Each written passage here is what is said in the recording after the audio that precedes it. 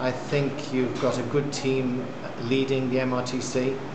They're very innovative and flexible.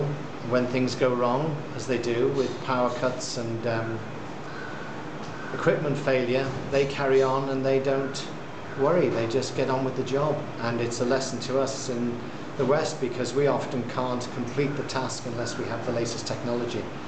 And you guys just make it happen.